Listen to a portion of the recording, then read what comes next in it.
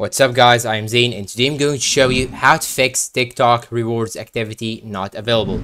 Now first thing you should do is to simply open your Play Store application on your phone and now what you should do is to search for TikTok on the App Store or Google Play Store if you want. Then what you should do right now is to simply update the TikTok. So I'm gonna update it right now. And after updating it, you can simply see if the issue is fixed or not. And if it's not fixed, you can go to your settings of your phone. And after that, go and select apps. And if you have an iPhone, you will select storage. Then you are going to choose Telegram. But in my case, I have an Android. So I'm gonna click on manage apps then search for TikTok. So click on TikTok right here.